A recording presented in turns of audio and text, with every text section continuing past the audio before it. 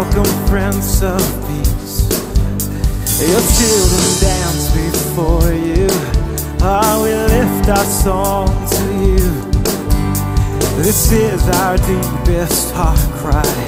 It is you we long to see. Open hearts burn for you. Outstretched hands reach you. We reach for you. Cause you are welcome here. Lord, you are welcome here. You are welcome here. Mighty God, mighty God. You are welcome, Lord of Lords. You are welcome, King of Kings. You are welcome, Lord are welcome, Prince of Peace.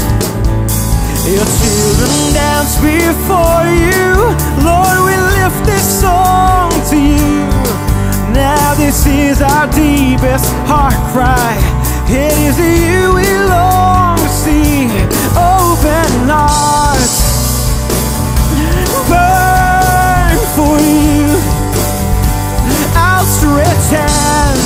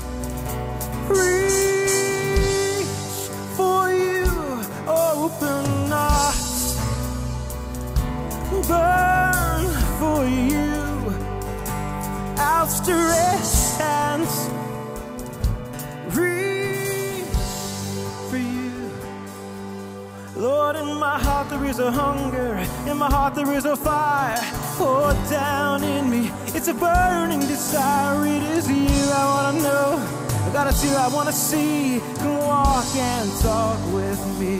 Come on, sing it out. In my heart there is a hunger, in my heart there is a fire. Lord, down in me, it's a burning desire. It is you I wanna know. Lord, it's you I wanna see. Walk and talk with me, Father. Lord, in my heart there is a hunger, in my heart there is a fire. Oh, down in me, it's a burning desire. It is you I wanna know. Lord, it's you I wanna see. Come walk, Lord, talk and dwell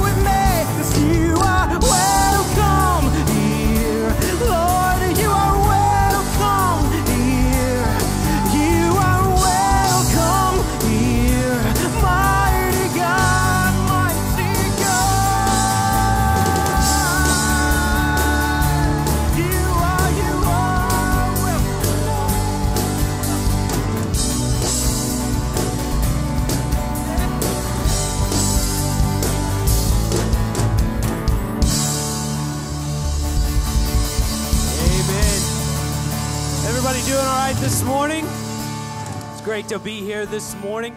Welcome to Lighthouse. My name is Josh. I'm the student pastor. If this is your first Sunday, welcome, welcome, welcome. You could not pick a better place to be at this morning, or if it's your first time back in a while, welcome to this place. Would you join me in prayer really quick? Father, we just ask right now, God, that you would be welcomed into this place with open arms, Father. God, we ask for a move of you in this place, God, for you to be with us in every aspect of the service, God. Have your way. Change our lives this morning in Jesus' name. And everybody said, Amen. You guys can go ahead and be seated.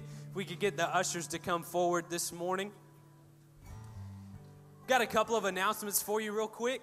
Um, we are, this is end of week two, beginning of week three of the fast. So We have a week left. I'm seeing some amens from back there. One week left.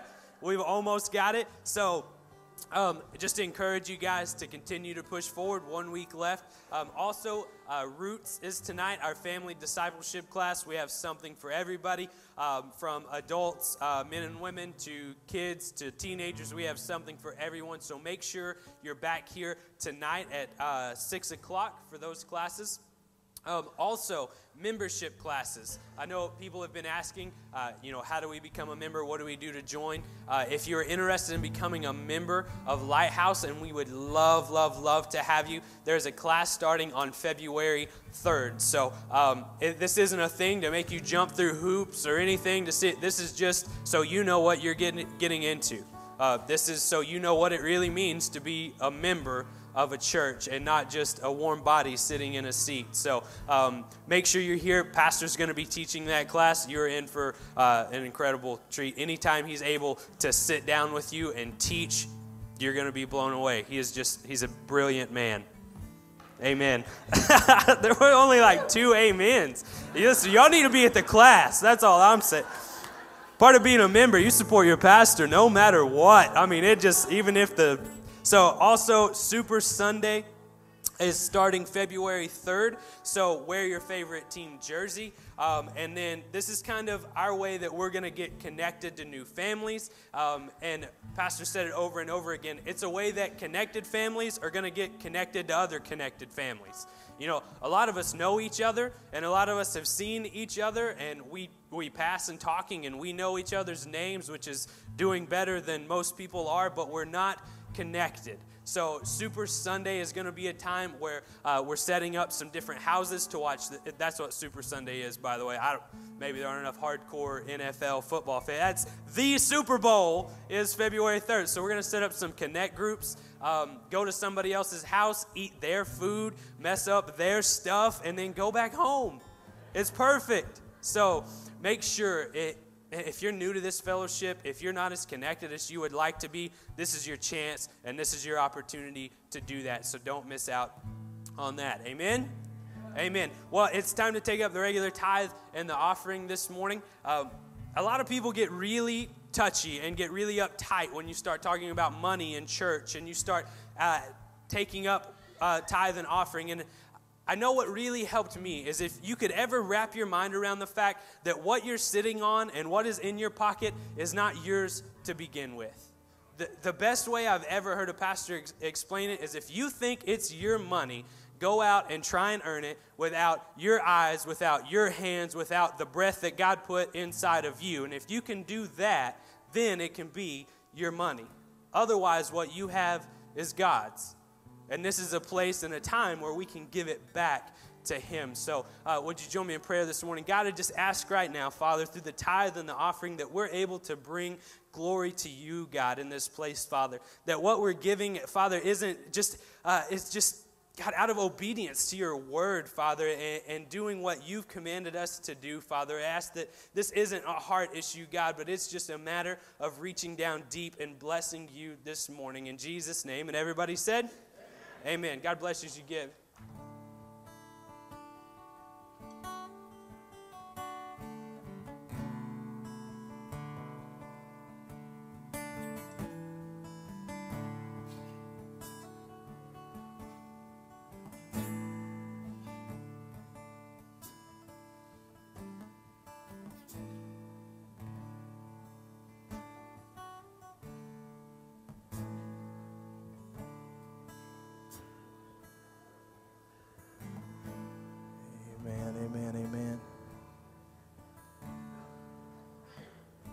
God bless you this morning for, for giving and the offering today. We're going to move into a time service this morning before we go back into worship. We'll do something that I love to do. And uh, I'm going to get to do this this Sunday, next Sunday, and the Sunday after that. The next three Sundays, I'm going to be dedicating uh, babies. And so this morning, we're going to dedicate a precious little baby. And we may need to bring the lights up a little bit so everybody can see. Uh, but I'm going to ask Casey and Shannon if you'll come and join me down here. Look at these beautiful little girls. Looky here. We're going to dedicate little Miss Kempsey this morning. Looky there. Amen. Look at these beautiful geese. Psalms 127, verse 3 says this Sons are a heritage from the Lord, and daughters. Children a reward from Him. Like arrows in the hands of a warrior are sons and daughters born in one's youth. Blessed is a man whose quiver is full of them. They will not be put to shame when they contend with their enemies in the gate. Now, I will tell you this Casey and I have done our part on growing the church the old fashioned way. We, some of you need to step it up a little bit. Many of you remember little Kimsey came a little early this year. Uh, she came a little too soon. She spent about a month in the NICU in the hospital, not quite a month, about two and a half weeks. And so uh, every time I hear that, I believe, and this is just me and my imagination, uh, I just believe that, that God had already told little Miss Kimsey who her parents were going to be, just how incredible they were, and the little sisters, the big sisters that she was going to have. And so I believe Kimsey just got in a hurry and thought, you know what, I just I want to get there as quick as I can. And so uh, she has been a miracle. She has been a gift from God. And uh, 1 Samuel chapter 1, verses 27, 28, we have Hannah's prayer. And it's what we're doing today. Uh, Casey and Shannon have been blessed with three beautiful girls and been blessed with little Miss Kimsey here. And so Hannah prayed. She said, I pray for this child, and the Lord has granted me what I ask of him. So now I give him to the Lord. For his whole life, he will be given over to the Lord, and he worshiped the Lord there. And that's what we're doing today. They're dedicating little Miss Kimsey back to the Lord and saying, God, we thank you for this gift, but we realize today that raising this child is much bigger than we are. That it's if we don't raise our child in the fear of God, and we don't raise our child with the respect, you know what, God, you're the only one that matters, then we miss it. And so I want to ask you to stand with me today, and we're going to, we have, have a carnation this morning for Shannon. I'll give this to you, and a little rosebud for Miss Kimsey. And then I have something, girls. Selah. Here's your little rose, Karis. A carnation is unique in this, is that even when a carnation dies, it never loses its petals. This is to symbolize the love that Casey, you and Shannon will have for your daughter no matter what takes place. Even if there's times where she acts like her daddy, they're still gonna, they're still gonna love her. It's that undying love that regardless of what happens, they can always count on mom and dad's love. The rosebuds are to represent a life that's yet to bloom. And it's, it's up to you guys to make sure that you provide the necessary atmosphere so that your girls can become everything that God wants them to be in connection with what your dreams are for them. But it's up to you as the parents that there are times where you can't be the buddy, you can't be the favorite, you have to be mom and you have to be dad. But God will help you do that, and that's what we're doing here today is we're connecting with this family, praying that God will help them, that we will lift them up in prayer, that will God will give them the wisdom and the discernment they need to raise these three beautiful little girls so that God can be everything he needs to be in their life and God will use them to impact their generation. Amen. Will you just stretch your hands this way and let us pray?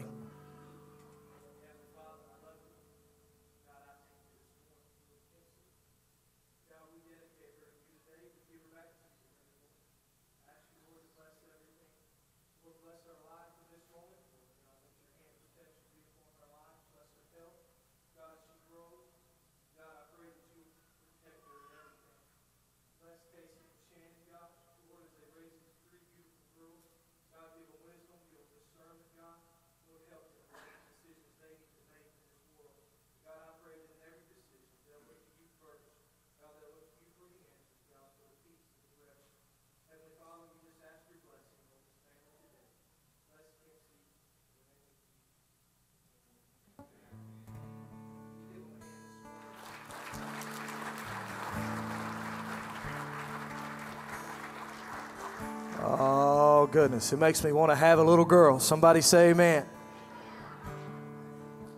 Boy, if I could, I would. Amen.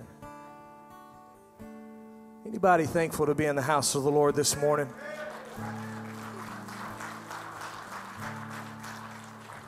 Listen, I want us to move into a time of worship. God has done some amazing things this past two weeks. I know many of you have been fasting with us, and many of you have been praying. And uh, I know sometimes when you begin to fast, and from experience, it feels like when you start fasting, it feels like all hell breaks loose in your life.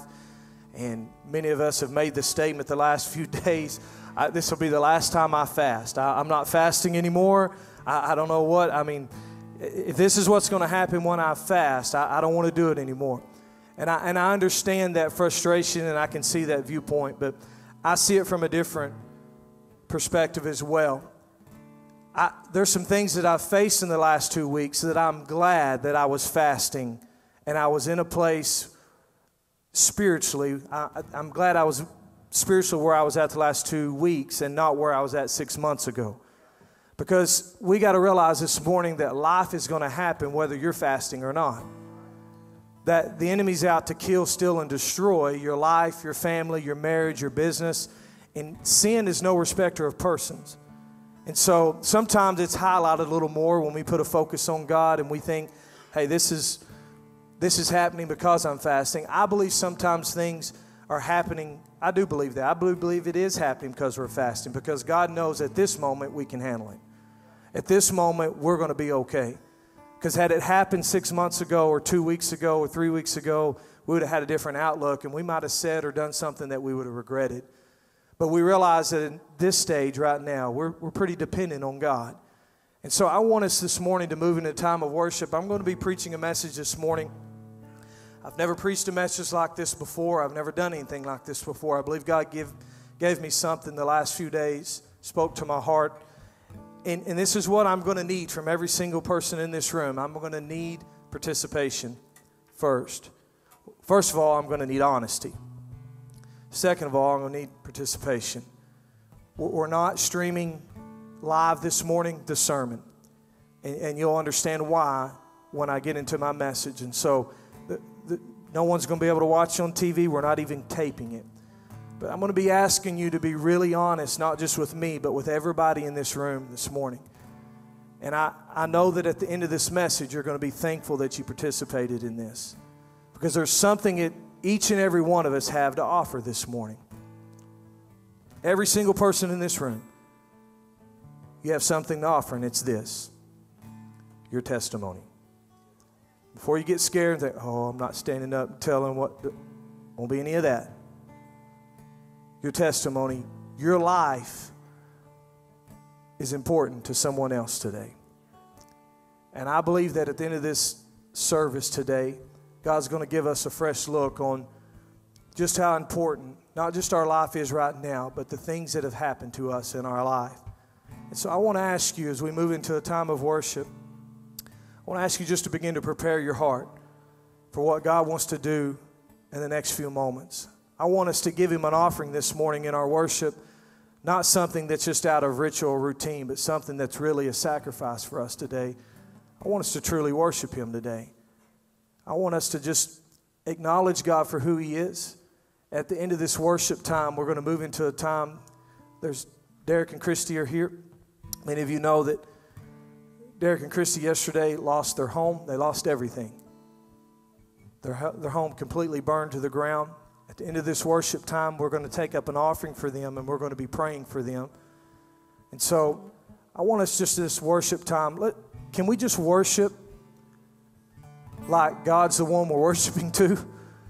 Can we just worship like He deserves it? We need Him this morning. So many of you walking through some things that you need your Heavenly Father to guide you and comfort you and bring peace. This is an opportunity for you just to move into a time of, you know what, Lord, I don't care who's here, I don't care who's around. No one's watching me on TV. It's going to be great. You can just worship your Savior this morning. We'll move into a time and give you an opportunity to pray and to give to this family and bless this family. So I want to just, will you just join me in prayer this morning as we move into a time of worship? Heavenly Father, I love you. God, I thank you for your word. I thank you for your truth. And God, I thank you for your presence that I feel right now. And God, I'm asking you, Lord, to anoint me, to anoint this worship. Lead us into your presence today, God. Help us to receive from you today. God, help us to apply it to our life today, God. Heavenly Father, bless your people today. Honor our worship today, God. Lord, we give you our all. We give you everything inside of us, God. You are our Savior, you're our King. Help us today to give you the honor that you deserve this morning.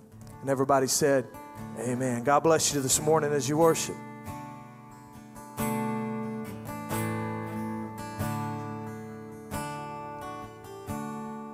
I felt the thunder.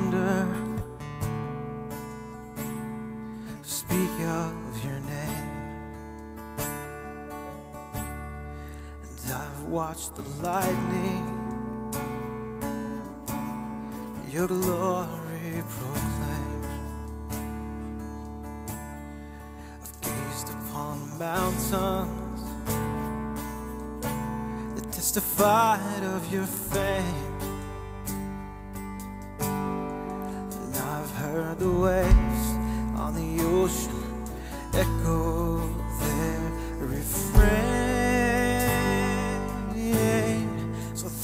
with my song, my song.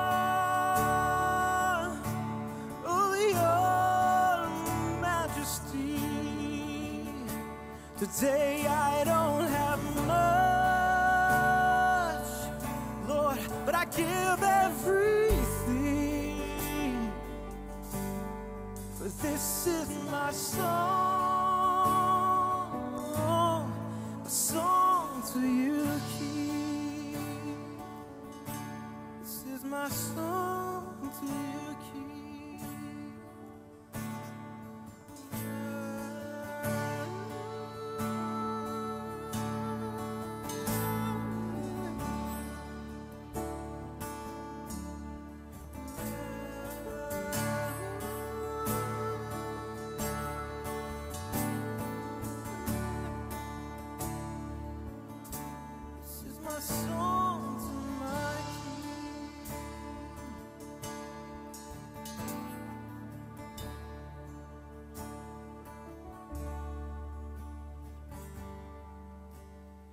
singing you this song, waiting at the cross.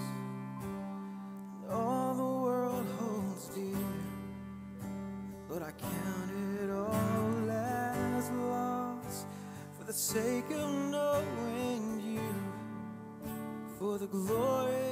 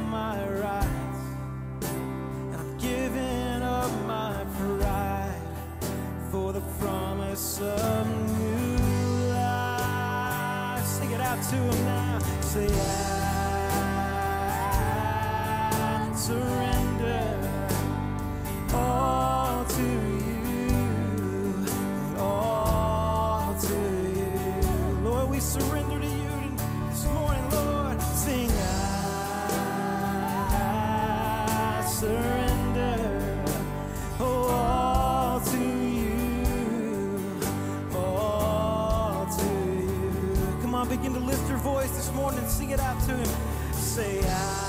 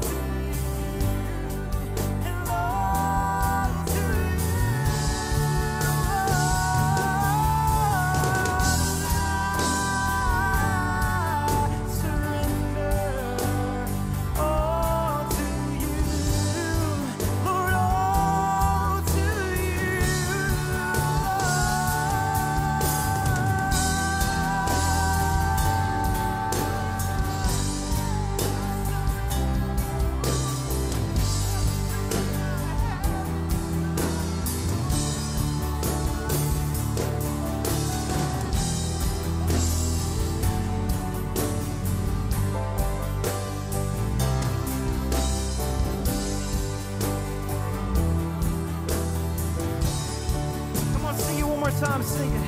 surrender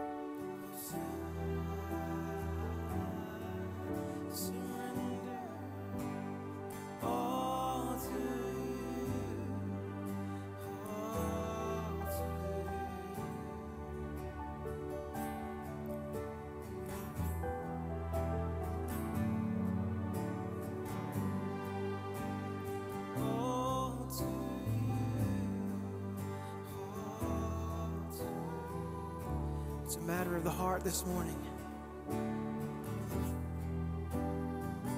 The word says that the Father is looking to and fro. He's constantly searching for his children that will worship him in spirit and in truth. Basically, that means this morning, with everything that you know, if this morning you were to say, I don't know how to worship, I don't even know what that means. If you ask him, he'll, he'll explain it to you, he'll show you.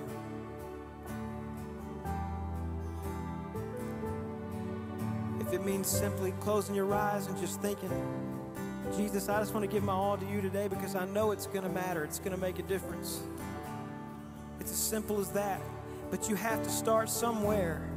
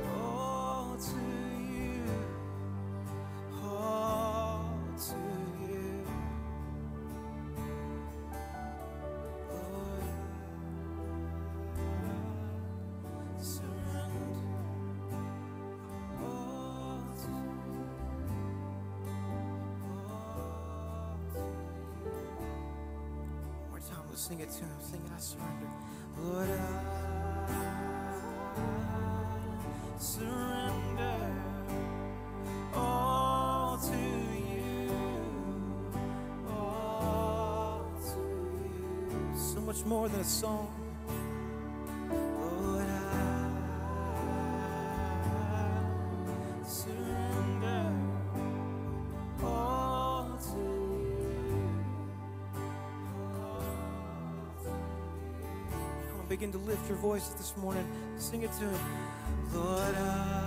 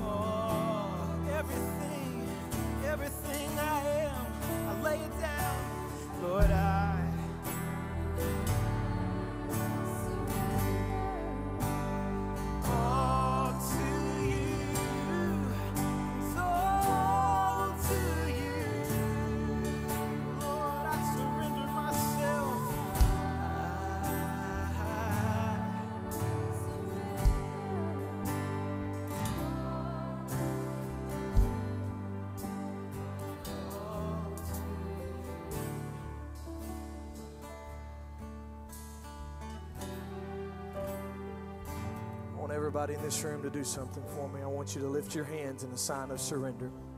This is not a Pentecostal thing, it's nothing more than you saying, I surrender. Doesn't make you a nut, doesn't make you crazy. It's you saying right now, at this moment in your life, God, I surrender. Here it is. My hands are up. I'm not holding on to anything. I don't want to control anything. God, I surrender my life. I don't have time to even get into my marriage and my business. God, I surrender right now my life, everything that I am, the thoughts that are going through my mind, the battles I've been struggling with, the things that the enemy's been attacking me with this week. God, I surrender my life right now. I surrender it. God, I don't have the answer. I don't know what tomorrow holds, but God, I know right now that you are God. You're my Savior. You're the only one that can bring peace to my situation. You're the only one that can help me right now. God, I surrender. I give up. I surrender to you this morning. Hallelujah.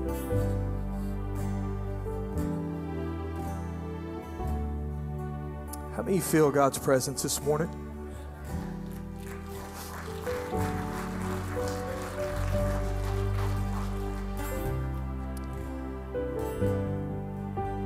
In moments and seasons in our life, we would all agree this morning that you can look back on defining moments in your life with your relationship with God, and you can look to a time where you had to do just that. Maybe you didn't raise your hands, but spiritually, you, in your heart, you said, God, I surrender.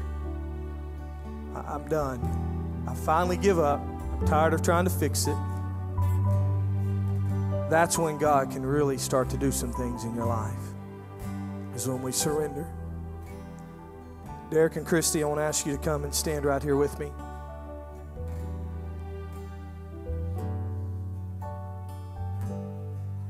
I want to ask you this morning just face the crowd right there. I, I need everyone in this room that you've had your home, you've had a, a fire in your home, you have walked through fire, whether it be a, mom, a dad, you personally, your, your house has been destroyed by fire. You have experienced these same feelings. I need you to get out of your seat and come down here. If you're here this morning, get out of your seat and I want you to stand in front of them.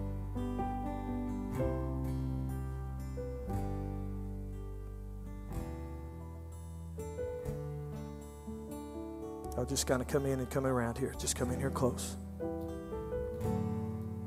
Say, Pastor, why are you doing this? I'm doing this to let you know that you're not the only ones ever had to go through this, all right? We're going to pray for this couple. They have two beautiful kids Jackson, 10 years old, little Aubrey, seven. She's seven, is that right? Seven, eight. She's eight years old. It was overwhelming yesterday. We're all just at the, basket, at the basketball gym, just playing, having a good time. And then all of a sudden, you know, their house is burning. Their boy's playing ball, and then they have to inform him that, you know, he doesn't have anything. Everything's gone. My boys had a hard time dealing with it. Ty just went down the list of. He, he did point out, though, that maybe his homework burned up and all that stuff. Todd said that's, that's a good thing. But puts things into perspective. What I want us to do, I want us, we're going to pray for God to bless them. We've already put in motion, our church is helping them. We're, we've got a place for them to live, and we're going to do that. Many of you have already dropped off clothes and you've got furniture you're going to bring. You've already blessed them financially with money. We're going to take up another offering today. If you're not prepared to give today, that's fine. you you can bring it by and, and give uh, this week. That'll be fine.